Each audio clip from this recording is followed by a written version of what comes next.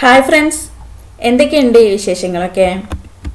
അപ്പോൾ ഇന്ന് ഞാൻ വന്നിട്ടുള്ളത് നല്ലൊരു അടിപൊളി മുട്ടക്കറി ആയിട്ടാണ് നല്ല സൂപ്പർ ടേസ്റ്റ് ആട്ടോ ഇതിന്. നിങ്ങൾ ഇതുവരെ ട്രൈ ചെയ്യാത്തവരൊക്കെ ഒന്ന് ട്രൈ ചെയ്ത് നോക്കണം എന്നിട്ട് ഫീഡ്ബാക്ക് അറിയിക്കണം.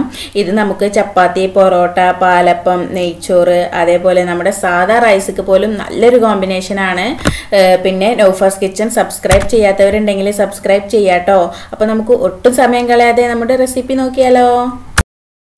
അപ്പോൾ ആദ്യം നമുക്ക് എന്താ ചെയ്യേണ്ടത് വെച്ചെങ്കിൽ നമ്മുടെ നാളികേരം ഒന്ന് വറുത്തെടുക്കണം. ഞാൻ എന്റെതായ രീതിയിലാണ് ഈ റെസിപ്പി പ്രസന്റ് ചെയ്യുന്നത്. അപ്പോൾ നമ്മൾ ഒരുപാട് രീതിയിൽ മുട്ടക്കറി ഉണ്ടാക്കും അല്ലേ അതിൽ ഒരു രീതിയാണ്. ഞാൻ രണ്ട് മൂന്ന് ടൈപ്പുകൾ അപ്ലോഡ് ചെയ്തിട്ടുണ്ട്. ഇത് വേറൊരു മെത്തഡാണ് അപ്പോൾ പാൻ ഒന്ന് ചൂടായാൽ നമുക്കൊരു ഒരു ടേബിൾ സ്പൂൺ അല്ലെങ്കിൽ ഒരു ഒന്നര ടേബിൾ സ്പൂൺ വെളിച്ചെണ്ണ ചേർത്ത് കൊടുക്കാം. അപ്പോൾ വെളിച്ചെണ്ണ അത്യാവശ്യം നന്നായിട്ട് ചൂടായാൽ നമുക്ക് ഒരു മൂന്ന് ഏലക്കായ അതേപോലെ മൂന്ന് ഗ്രാമ്പു ഒരു ചെറിയ കഷ്ണം പട്ട കൂടെ ചേർത്ത് കൊടുക്കാം. അപ്പോൾ അതൊന്ന് അത്യാവശ്യം ചൂടായതിന് ശേഷം ഒരു അഞ്ച് ചെറിയുള്ളി ചെറുതാക്കി കട്ട് ചെയ്തതും അതേപോലെ ഒരു ചെറിയ കഷ്ണം ഇഞ്ചി കട്ട് ചെയ്തതും ഒരു മൂന്ന് പച്ചമുളക് നെടുകെ ചെറിയതും ചേർത്ത് കൊടുക്കാം. ഇതൊന്ന് ജസ്റ്റ് ഒന്ന് വഴറ്റിയെടുക്കുക. നമുക്ക് ഇതിലേക്ക് കുറച്ച് കറിവേപ്പില കൂടി ചേർത്ത് കൊടുക്കാം. കറിവേപ്പില എത്രത്തോളം ചേർക്കണോ അത്രത്തോളം ടേസ്റ്റ് ആട്ടോ അത് കരുതി ഓവറാക്കരുത് പിന്നെ അവിടെ ഒരു മൂന്ന് തണ്ട് കറിവേപ്പില ചേർത്ത് കൊടുക്കുന്നുണ്ട്.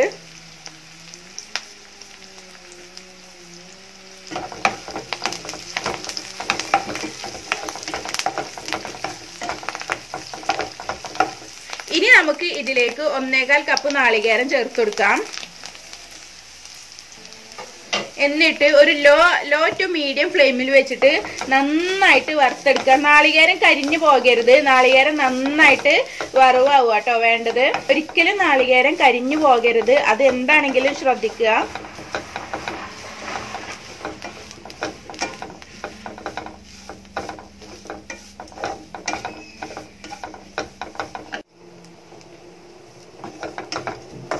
നാളികേരം ഏകദേശം റെഡി ആവാൻ തുടങ്ങിയിട്ടുണ്ട് കേട്ടോ.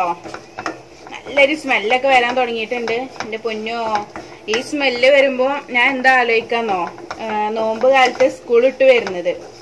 ഉച്ചയ്ക്ക് സ്കൂൾ വിടുമല്ലോ അപ്പോൾ സ്കൂൾ വിട്ട് വന്നാൽ ആ സമയത്താക്കാരം ഉമ്മ ബീഫ് കറി ഉണ്ടാക്കാൻ നാളികാരം വറക്കുന്നത്.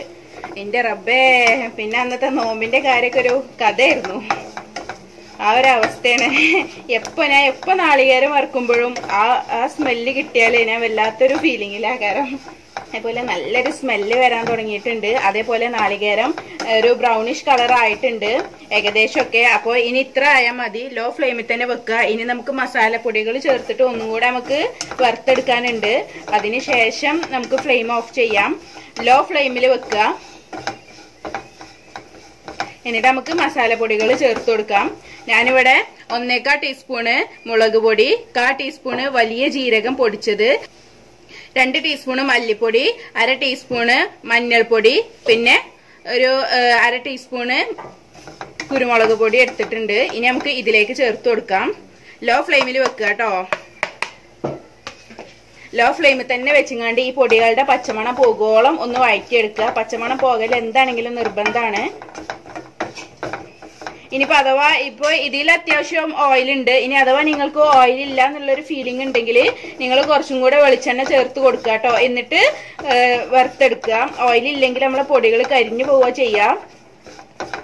നമ്മൾ പൊടികൾ ഇങ്ങനെ ചേർത്തുങ്ങാണ്ട് നമ്മൾ കറി ഉണ്ടാക്കുകയാണെങ്കിൽ നമ്മുടെ കറി നല്ല ടേസ്റ്റ് ആയിരിക്കും. ഇനി നമ്മൾ സവാള വഴറ്റുമ്പോഴൊന്നും അങ്ങനെ പൊടികൾ ചേർത്ത് കൊടുക്കൂല. ഇനി ഒരു രണ്ട് മൂന്ന് മിനിറ്റോളം വഴറ്റിയെടുക്കുക. അപ്പോഴേക്കും നമ്മുടെ പൊടികളുടെ പച്ചമണൊക്കെ പോയിട്ടുണ്ടാവും. നമ്മൾ ഇതിലേക്ക് മല്ലിപ്പൊടിയൊക്കെ ചേർത്ത് കൊടുത്തിട്ടുണ്ട്. അപ്പോൾ മല്ലിപ്പൊടിയും പിന്നെ ഇതിന്റെ ഒക്കെ മഞ്ഞൾപ്പൊടിന്റെ ഒക്കെ പച്ചമണം പോവാൻ കുറച്ചും കൂടെ ടൈം എടുക്കും. ഞാൻ ഇതിലേക്ക് കാശ്മീരി മുളക് പൊടി ആട്ടോ ചേർത്ത് കൊടുത്തിട്ടുള്ളത്. സാധാ മുളക് പൊടി ആണെങ്കിലും കുഴപ്പമില്ല. നല്ലൊരു കളർ കിട്ടാൻ വേണ്ടിയിട്ടാണ് കാശ്മീരി മുളക് പൊടി ചേർത്ത് കൊടുത്തിട്ടുള്ളത്. പൊടികളുടെ പച്ചമണൊക്കെ പോയിട്ട് നല്ലൊരു സ്മെല്ല് വരാൻ തുടങ്ങിയിട്ടുണ്ട്. ഇനി ഞാൻ ഫ്ലെയിം പറ്റ ലോ ആക്കി വെക്കുകയാണ്. അതിനുശേഷം നമ്മൾ ഈ നാളികേരണ്ടല്ലോ ഇത് ഈ പാനിൽ നിന്ന് മാറ്റുക. അതിനുശേഷം നമുക്ക് സവാള ഒന്ന് വഴറ്റിയെടുക്കാം. അപ്പൊ ഞാൻ പാനിൽ നിന്ന് നാളികേരം മാറ്റിയിട്ടുണ്ട് കേട്ടോ. ഇനി നമുക്ക് ഇതിലേക്ക് കുറച്ച് ഒരു ഒന്നര ടേബിൾ സ്പൂണ് വെളിച്ചെണ്ണ വീണ്ടും ചേർത്ത് കൊടുക്കാം. നമ്മുടെ സവാള ഒന്ന് വഴറ്റിയെടുക്കണം. അപ്പോൾ ഓയിൽ ചൂടായിട്ടുണ്ട്. ഇനി ഞാൻ സവാള ചേർത്ത് കൊടുക്കുകയാണ് സവാള രണ്ട് സവാള ചെറുതാക്കി കട്ട് ചെയ്തത് കേട്ടോ.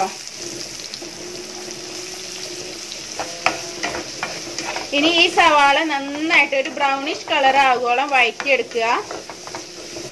അപ്പൊ സവാള നന്നായിട്ട് വഴന്ന് വന്നിട്ടുണ്ടായിരുന്നു. അതിനുശേഷം ഞാൻ കറിവേപ്പില ചേർത്തു. കറിവേപ്പില എന്റെ കറിവേപ്പില കുറച്ച് ഇളയ ഇലയാണ്. അതുകൊണ്ടാണ് ഞാൻ ഇത്ര അധികം ചേർത്ത് കൊടുക്കുന്നത്. പിന്നെ കറിവേപ്പില ഉണ്ടാവുന്നതാട്ടോ ടേസ്റ്റ് അത് കരുതി കറിവേപ്പില കറി ആക്കരുത്. അതാ ഉദ്ദേശിച്ചത്. കറിവേപ്പില അത്യാവശ്യം ഉണ്ടാവുന്നത് തന്നെയാണ് ടേസ്റ്റ് പിന്നെ ഞാൻ ഇതിലേക്ക് ഒരു വലിയ തക്കാളിയും കൂടെ ഒന്ന് കട്ട് ചെയ്തിട്ടിട്ടുണ്ട്. ഇനി നമുക്ക് ഈ തക്കാളി നന്നായിട്ട് വേവിച്ചെടുക്കാം. തക്കാളി നന്നായിട്ട് വെന്ത് ഓയിലൊക്കെ ഇങ്ങനെ സെപ്പറേറ്റ് സെപ്പറേറ്റ് ആവൽ തുടങ്ങണം. അത് അതുവരെ നമുക്കൊന്ന് വെയിറ്റ് ചെയ്യാം. ഞാൻ ക്യാമറ ഓൺ ആയിട്ടുണ്ടെന്ന് കരുതിയിരുന്നു. അതുകൊണ്ടാണ് എനിക്ക് അത് മിസ്സായത് നമ്മുടെ സവാള നന്നായിട്ട് വഴന്ന് വന്നതിന് ശേഷം മാത്രം തക്കാളി കറിവേപ്പിലയും തക്കാളിയും കൂടെ ചേർത്ത് കൊടുക്കുക. കറിവേപ്പില ഇനി നിങ്ങൾ ചേർക്കണമെന്നില്ല. എന്റെ കറിവേപ്പില പറഞ്ഞില്ലേ ഇളയതായതുകൊണ്ട് മാത്രമാണ് ചേർത്ത് കൊടുത്തത്. അപ്പോൾ ഇടക്കൊക്കെ ഒന്ന് തുറന്ന് ഇളക്കി കൊടുത്ത് നോക്കണം. നമുക്കിതിലേക്ക് കുറച്ച് ഉപ്പും കൂടെ ചേർത്ത് കൊടുക്കാം. ഉപ്പ് നമുക്ക് ഇപ്പൊ ഫുള്ള് ചേർത്ത് കൊടുക്കണമെന്നൊന്നുമില്ല ലാസ്റ്റ് ഒന്ന് കറക്റ്റ് ആക്കി കൊടുക്കാം. അപ്പോൾ തക്കാളിയൊക്കെ നന്നായിട്ട് കുക്കായിട്ട് ഓയിലൊക്കെ ഇങ്ങനെ സെപ്പറേറ്റ് സെപ്പറേറ്റ് ആവാൻ തുടങ്ങിയിട്ടുണ്ട്. ഇനി ഞാൻ എന്ത് ചെയ്യണമെന്ന് വെച്ചെങ്കിൽ ഫ്ലെയിം ഓഫ് ചെയ്യാണ്. കാരണം ഞാൻ ഇതും നാളികേരം കൂടെയാണ് അരച്ചെടുക്കുന്നത്. നിങ്ങൾക്ക് വേണ്ട എന്നുണ്ടെങ്കിൽ സവാള ഇങ്ങനെ കടിക്കാൻ കിട്ടുന്നതൊക്കെ ഇഷ്ടമാണെന്നുണ്ടെങ്കിൽ നിങ്ങൾ ഒരു കാര്യം ചെയ്യുക അപ്പം നമ്മൾ നാളികേരം വറുത്ത് വേറൊരു പ്ലേറ്റിലോട്ട് മാറ്റി വെച്ചില്ലേ? ഈ നാളികേരം നന്നായിട്ട് അരച്ചുങ്ങാണ്ട് ഇതിലോട്ട് ചേർത്ത് കൊടുക്കുക. അല്ലെങ്കിൽ ഞാൻ ചെയ്യുന്ന മാതിരി ഇതും കൂടെ ഒന്ന് ചൂടാറിയതിന് ശേഷം നന്നായിട്ട് അരച്ചെടുത്തിട്ട് രണ്ടും കൂടെ മിക്സ് ചെയ്തിട്ട് നമുക്ക് കറിയാക്കി എടുക്കാം. എനിക്ക് പൊതുവേ ഇങ്ങനെയാണ് ഇഷ്ടം. ഇങ്ങനെ സവാള കടിക്കുന്നതിനോട് തീരെ താല്പര്യമില്ല. അതുകൊണ്ടാണ് ഞാൻ സവാളൊക്കെ എല്ലാ റെസി കൂടുതൽ റെസിപ്പികളിലും ഞാൻ സവാള ചെറുതാക്കി കട്ട് ചെയ്യുന്നത് അതുകൊണ്ടാണ്. നമ്മൾ നമ്മളെ ഇഷ്ടത്തിനനുസരിച്ച് കുക്ക് ചെയ്താലേ ഉള്ളൂ. നമുക്ക് കഴിക്കുമ്പോൾ നമുക്കൊരു ടേസ്റ്റ് ഉണ്ടാവുള്ളൂ. അപ്പോൾ ഇനി ഇത് ചൂടാറിയതിന് ശേഷം നന്നായിട്ട് അരച്ചെടുക്കട്ടെ എന്നിട്ട് കാണിച്ചു തരാം. അപ്പോൾ ഞാൻ നന്നായിട്ട് അരച്ചെടുത്തിട്ടുണ്ട്. നന്നായിട്ട് ഫൈനാക്കി അരച്ചെടുക്കുക. നിങ്ങൾക്ക് വേണമെന്നുണ്ടെങ്കിൽ മാത്രം മസാല ചേർത്താൽ മതി. ഇനി ഞാൻ ഇത് ഇതേ സെയിം പാനിലേക്ക് തന്നെ ചേർത്ത് കൊടുക്കുകയാണ്.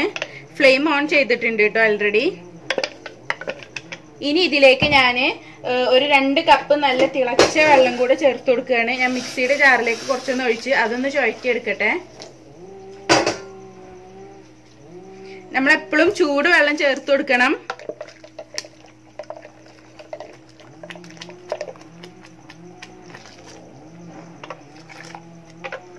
വെള്ളം വെള്ളം ഒഴിച്ചു കൊടുത്തിട്ടുണ്ട്. രണ്ട് കപ്പ് ചൂട് വെള്ളം കേട്ടോ. പച്ചവെള്ളം നിങ്ങൾ ഒഴിക്കരുത്. നമ്മളെ നമ്മളെ കറിയുടെ ടേസ്റ്റ് തന്നെ അങ്ങ് മാറും. ഇനി ഇത് നന്നായിട്ട് വെട്ടി തിളക്കട്ടെ. ഒരു പത്ത് മിനിറ്റോളം നന്നായിട്ട് വെട്ടി തിളക്കുക. അതിനുശേഷം നമുക്ക് മുട്ട ചേർത്ത് കൊടുക്കാം. ഇനി ഒരു പത്ത് മിനിറ്റ് കഴിഞ്ഞിട്ട് പത്ത് മിനിറ്റ് നന്നായിട്ട് തിളച്ചതിന് ശേഷം നമുക്ക് ഓപ്പൺ ചെയ്യാം. ഉം, ഞാനിവിടെ മസാല റെഡിയാക്കിയതിന് ശേഷം മുട്ട പുഴുങ്ങാൻ വെച്ചിരുന്നു. മുട്ട എടുത്ത് വെള്ളം ചേർത്തിട്ട് അതിലേക്ക് കുറച്ച് ഉപ്പും കൂടെ ചേർത്താൽ നമ്മൾ മുട്ട അഥവാ ഇനി തിളക്കുന്ന സമയത്തൊക്കെ പൊട്ടി പോവുകയാണെങ്കിലും മുട്ടയുടെ പാടങ്ങനെ പുറത്തേക്ക് വന്നിട്ട് ആകെ മിക്സ് ആവില്ല. അപ്പൊ ഈ ഒരു നമ്മൾ ഞാൻ മുട്ട പുഴുങ്ങുന്ന ആ സമയത്ത് പൊട്ടിയൊരു മുട്ടയാണ് ഇത്. അപ്പൊ ഇത് പുറത്തേക്കൊന്നും വന്നില്ല. നമ്മൾ ഉപ്പ് ചേർത്തതുകൊണ്ടാണ് അങ്ങനെ അങ്ങനെ പൊട്ടിയാലും വലിയൊരു പ്രശ്നമൊന്നും ഉണ്ടാവില്ല. പിന്നെ നന്നായിട്ട് ഒരു പത്ത് മിനിറ്റോളം വേവിച്ചെടുത്തതിന് ശേഷം അപ്പൊ തന്നെ ഫ്ലെയിം ഓഫ് ചെയ്ത് പിന്നെ നേരെ ഡയറക്റ്റ് ആയിട്ട് തണുത്ത വെള്ളത്തിലോട്ട് ഇട്ട് കൊടുത്തു. അങ്ങനെ ആകുമ്പോൾ നമുക്ക് മുട്ടയുടെ ഷെല്ലൊക്കെ പെട്ടെന്ന് റിമൂവ് ചെയ്യാൻ പറ്റും. പിന്നെ ഇനി നമുക്ക് മുട്ട ഒന്ന് കട്ട് ചെയ്തെടുക്കണം. നിങ്ങൾക്ക് വേണമെന്നുണ്ടെങ്കിൽ മുട്ടമ്മക്കൂടി ജസ്റ്റ് ജസ്റ്റ് വരഞ്ഞെടുത്താൽ മതി. പക്ഷെ ഞാനിത് കട്ട് ചെയ്ത് തന്നെയാണ് എടുക്കുന്നത്. ഞാനിങ്ങനെ എല്ലാ മുട്ടയും മുറിച്ചെടുത്തുകൊണ്ട് തന്നെയാണ് ചേർത്ത് കൊടുക്കുന്നത്. മുട്ടയുടെ എണ്ണൊക്കെ നിങ്ങളുടെ വീട്ടിലെ മെമ്പേഴ്സിനനുസരിച്ച് നിങ്ങൾ കഴിക്കുന്നതിനനുസരിച്ചും ചേർക്കാട്ടോ. അപ്പോൾ ഈ കറി തിളക്കാൻ തുടങ്ങിയിട്ട് പത്ത് മിനിറ്റോളം ആയിട്ടുണ്ട്. ഇനി നമുക്ക് ഇതിലേക്ക് മുട്ട ചേർത്ത് കൊടുക്കാം. ഈ സമയത്ത് നിങ്ങൾ ഉപ്പൊക്കെ ഒന്ന് നോക്കുക. ഞാൻ ഉപ്പൊക്കെ ഇതിൽ കറക്റ്റ് ആക്കിയിട്ടുണ്ട്.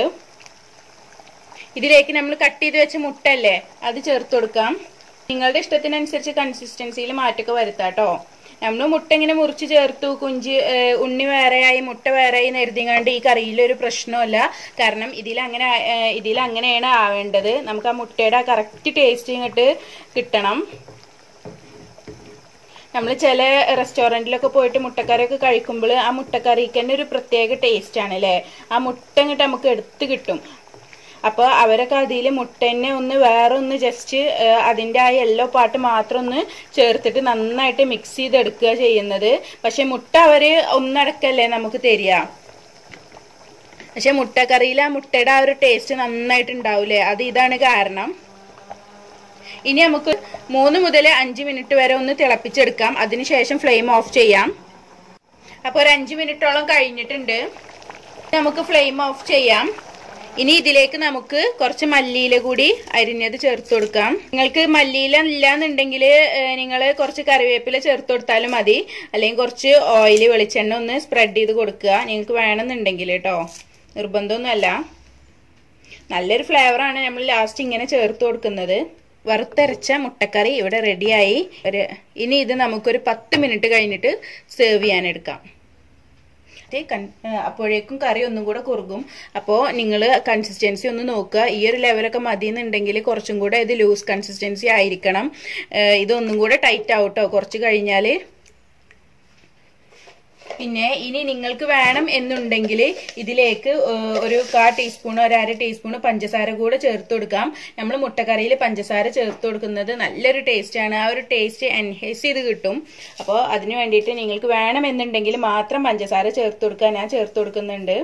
പഞ്ചസാര ചേർത്ത് കൊടുക്കണം എന്നൊരു നിർബന്ധമല്ല കേട്ടോ. പക്ഷെ നല്ലൊരു ടേസ്റ്റ് ആണ്. നിങ്ങൾക്ക് കുഴപ്പമൊന്നുമില്ലെങ്കിൽ നിങ്ങൾ ഒരു പ്രാവശ്യമെങ്കിലും ഒന്ന് ചേർത്ത് കൊടുത്ത് നോക്കുക. നല്ല ടേസ്റ്റ് ആണ്. ഒരു പത്ത് മിനിറ്റോളം കഴിഞ്ഞിട്ടുണ്ട് കേട്ടോ അതാ കണ്ടോ? കറി നന്നായിട്ട് കുറുകിയിട്ടുണ്ട്. ഈ ഒരു കൺസിസ്റ്റൻസിയാണ് എനിക്ക് വേണ്ടത്. ഇത് ഇനി നമുക്ക് സെർവ് ചെയ്യാൻ എടുക്കാം. അപ്പൊ ഇതാട്ടോ നമ്മളൊരു അടിപൊളി മുട്ടക്കറി ഇവിടെ റെഡി ആയിട്ടുണ്ട്.